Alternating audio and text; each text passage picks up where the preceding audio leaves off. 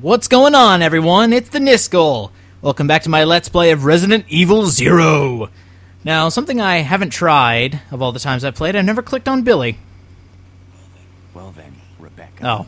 Why don't you go and try while I wait here? I guess he just, just in case you forgot what you need to do, just click on him again, and he'll tell you.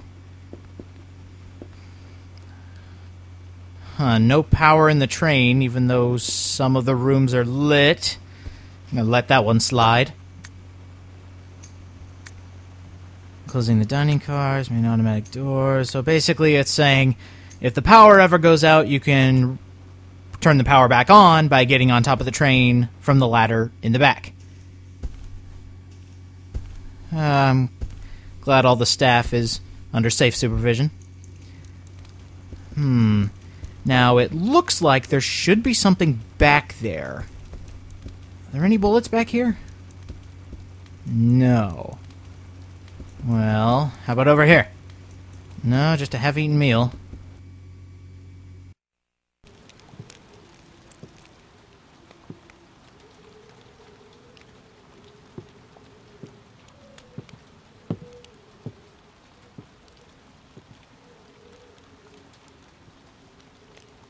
Um, excuse me, sir.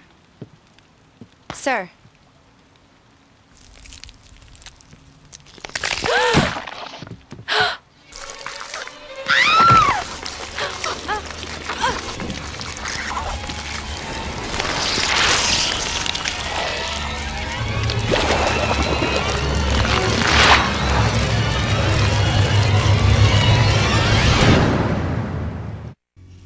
Leech zombies! These are the worst enemies ever implemented in Resident Evil. They take a lot of hits, they do a lot of damage, so you know what? I don't want to fight it.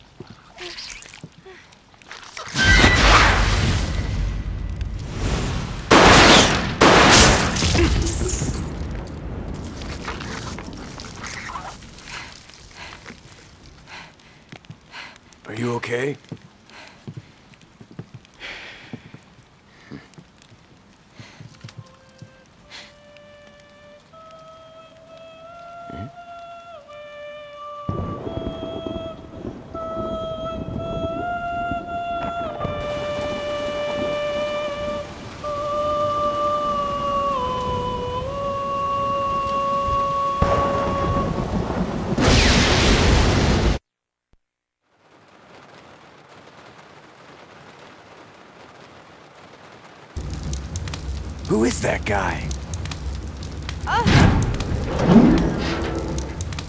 What's going on? Who's controlling the train? Go and check out the first engine car. Listen, we gotta cooperate with each other from now on. You got that? Well, I don't. Clue in, girl. Or maybe you like being worm bait. All right. But you just remember, I will shoot you if you try anything funny. Fine. Now take these with you. If you find anything, give me a call, alright?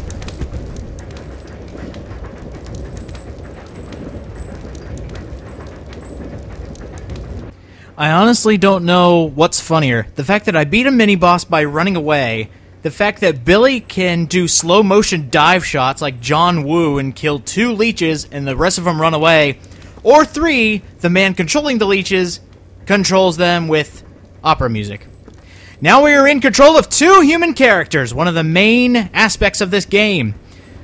You use the control stick to control your character, but if you ever wanted to move your other character, you press the C stick.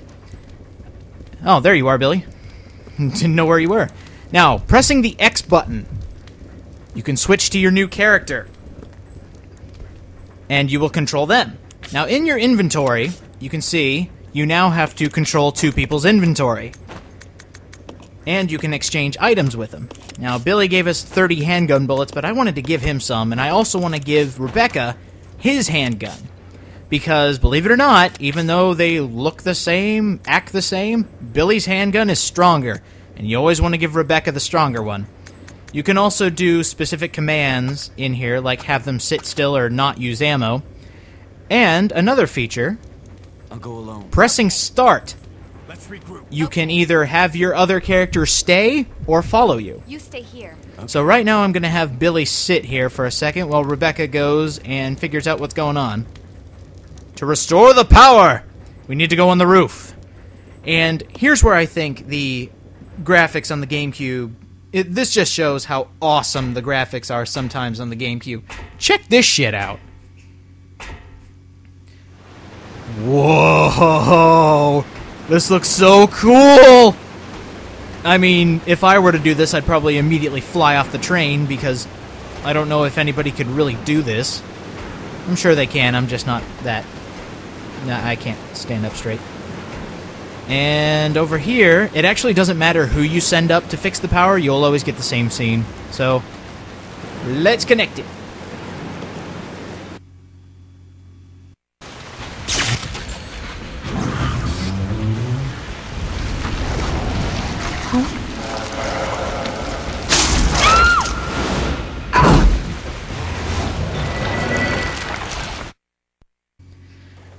We turn the power back on, and Rebecca's locked in a room.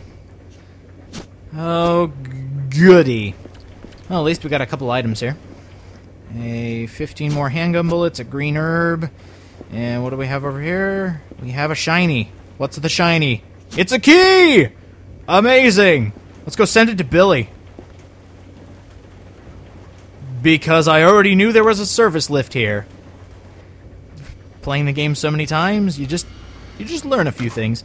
Now, here's one of the main puzzles of the game: sending items back and forth between your characters when they're separated. It's not particularly a good puzzle, but it yeah, well, let's say it's not as tacked on as Resident Evil 5's co-op. Boom, zing, what a burn. Now, why can't we get out this door? because there's something stuck in the keyhole. Great. Why couldn't we just use the key we just sent to Billy to try to, you know, pry it out? So, no more Rebecca. Let's play with Billy. As that heartbeat indicates, we are now in control of Billy. Hey, Rebecca, how you doing over there? We heard you fall. Did something happen? Did you slip on the train? Alright, anyway, we need to go down and get that key. Now, a lot of you might be confused as to where this service lift is. If you think about it, uh, geographically, I guess you could say, it would be back here. A lot of people would miss that. So, just, be, just check everywhere. And here we go. A new key means a new door to open. But that all depends. what door does this key open? Let's check here. It should be the conductor's key. Oh, and it is very specific where you can examine. If you examine, let's say, the key itself, it'll say, there's something written on the tag. So logically, you should put together, hey, I should check the tag. So we're heading towards the conductor's room, which is all the way in the front of the train. So let's trek back through all these zombies. Hey, dude. Told you I'd be back for you. And here's a little tactic, especially if you're playing hard mode, to save ammo. When you knock them down with your bullets, use the knife and kill them like that. Now, because I'm playing normal mode, I won't have to do this as much because they give you just enough ammunition and supplies to get you through the game. Easy mode, I, I would suggest like shooting extra bullets, like shooting butterflies up in the air to like get the right number of ammo. Easy mode is literally too easy. They give you so much crap. Now, uh, there any more zombies in here? There's a couple more waking up, but I'll deal with you later. Pro tip if you're trying hard mode conserve all your ammo. Even if you have to take extra damage, conserve all your ammo. That knife is very powerful. This body has bite marks all over it. Thank you, Billy. And we're in. I wonder what's in that room there with all the boxes. Hmm. Maybe that's where they're hiding the infinite launcher that's in every Resident Evil game. Alright, there's a few items in here, but the one of most value is a map. Here is the map. There we go. We got the map of the whole train, even though it's pretty easy to navigate. And we have pressed the oh so shiny button calling us with its siren's call. It's flashing us. I had to answer the call. What do we got here? Note from the conductor. It's in the driver's compartment and my bag as always, but I need the other one. So it looks like the conductor lost the key to the front of the train in his briefcase and needs two items to open the briefcase. So yeah, idiot. And he left it in the closet in that room, but we'll be back for it. And also, those herbs you saw, we'll be back for those too. So no worries on that. And there should be something.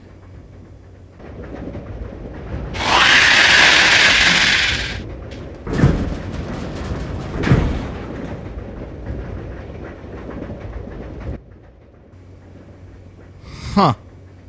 Well, that was weird. Won't have to worry about that for another two minutes. So, uh, yeah. We have a boss fight coming up soon.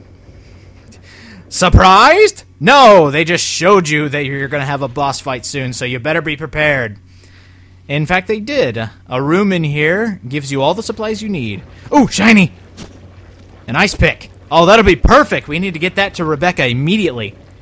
And there should be... Oh, look at all the leeches. Ew. We can't get through to the other part of the train. Open up this door. And... Whoa! Supplies! Alright, um, I'm gonna leave the knife here because I won't need it for this fight. Got some shotgun shells. Amazing. And some more handgun bullets. Now, there on the sink is a first aid spray, but we won't need that. There's a special a special lock on that closet. Hmm, I wonder what that will be. I will let you know what that is at the end of the Let's Play. I'm not kidding. That's the time where it will become relevant, right at the end. Believe it or not, you actually come back to this train all the way at the end. It's awesome. Now, on your map, you can actually see what items you have seen on the floor. If you haven't picked it up once, the map won't tell you what it is. Over there in the corner is an ink ribbon, just in case you were curious. I don't know why they give it to you. There's no typewriter up here. So there's no way to save before fighting this boss. And you'll be surprised at what this boss is. By the way, this boss will not appear unless you have the ice pick. So keep that in mind when you're rearranging your inventory. So now as we walk slowly towards our fate with a new camera angle, let's see this boss for what it is. Probably a bug.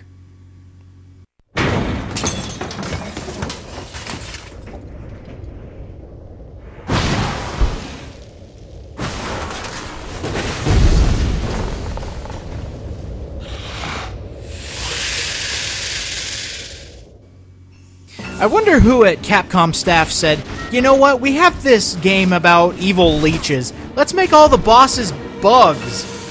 Here we have the Scorpion Boss. Cleverly named the Scorpion Boss. He is very easy to kill. In fact, he's so easy to kill, we need to get revenge for that chandelier in which he broke all four lights! But basically, have him walk towards you, aim down, and shoot at his head.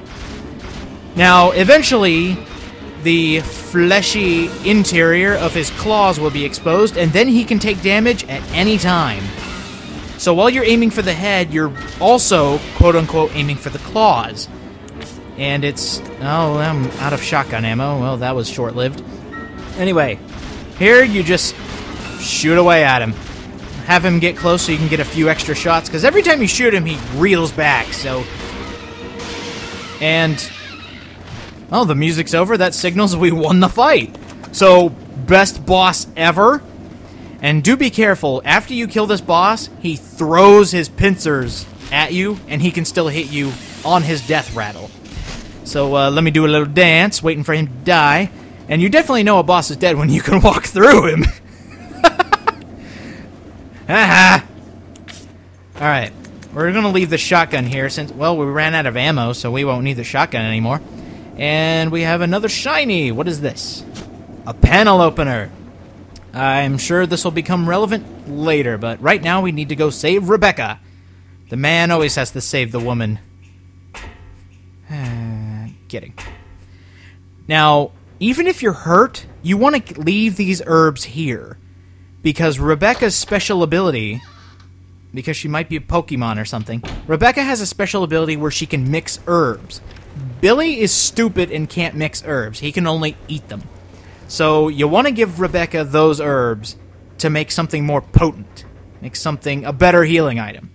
So just tell Billy to suck it up and have Rebecca take the herbs. And when I say tell Billy to suck it up, I'm not meaning in that way. I mean he can take a lot of punishment. I think for every one hit Rebecca can take, Billy can take three. He is a monster. He can take so many hits. Speaking of taking hits, what's up here, man? I hope it's another green herb that I can smoke. I was kidding. Ah, oh, speak of the devil. Ew, there's all the leeches again. And you can't kill them. No, my bullets are ineffective. Alright, fine. Actually, should I take that? Nah, I'll leave it for later. Don't worry, I will be going back to get that. Hopefully, if I remember. Another good strategy if you're playing through hard mode, and this goes back to Billy being a tank, he can take a lot of hits. Like Rebecca can probably take like one hit and she's already on yellow. So have Billy like run into danger with a knife and get off. If you ever want zombies to get off you quicker, rotate the control stick. It works wonders for shoving these guys off. So keep that in mind if you're ever in close quarters and you need to get them off quick, just shake that control stick. Works like a charm. Hey, Rebecca, we got a sharp pointy thing for you that'll hopefully get that whatever it is out of the doorknob or the keyhole, keyhole doorknob, whatever. Now, this puzzle here, this conveyor, not conveyor belt, the lift puzzle, uh, it does go by real life logic. So if you're trying to put that panel opener in there, it won't fit. You can put a gun in there, you can put an herb in there, and she looks really bored. How long have you been up here? Like 10 minutes? You could have found a way out. Anyway, we have the ice pick, and we need to pick some ice out of the lock. There's probably no ice in there. It would have melted by now. Also, uh, some key items on the walls, like for keys and stuff, sometimes they can be really finicky. I can't tell you how many times I've done a speed run, and I've gone to unlock that door, and just because I was standing perpendicular to the door, it wouldn't unlock. I had to be standing towards the keyhole. And zombies on fire! What's worse than a zombie? Zombies being on fire! Run away, run away! Don't want to fight those guys. Oh, Billy! I'm gonna call for you. Let's go! I've got him whipped. Anyway, next time on Let's Play Resident Evil Zero, we're going to explore the rest of the train. Figure out what's going on here. Hey, Billy, check me out. Check me out, I'm dancing. See you next time, guys.